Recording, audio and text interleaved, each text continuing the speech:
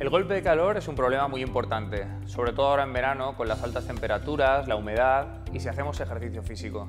Recordad que es muy importante hidratarse, bien con agua o con soluciones isotónicas, y evitar hacer ejercicio durante las horas de mayor calor, es decir, a mediodía.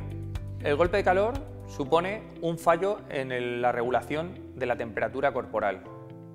Puede aparecer mucha sudoración o, por el contrario, sensación de frío y piel de gallina. Esto es porque el cuerpo está confuso y no sabe cómo reaccionar y piensa que necesitamos más calor del que ya tenemos. ¿Qué debemos hacer si nos encontramos eh, con un golpe de calor o encontramos a, a otra persona que esté sufriendo un golpe de calor? Lo primero es apartarlo del foco de calor, es decir, ponerlo a la sombra, refrescarlo con bebidas isotónicas y ventilarlo. Si esto no es suficiente porque su temperatura no baja de 40 grados, tendremos que llamar al 112 para que reciba asistencia sanitaria. Recordad, lo más importante es prevenirlo, pero si no sucede ya sabéis cómo debemos actuar. Y disfrutad de un verano saludable.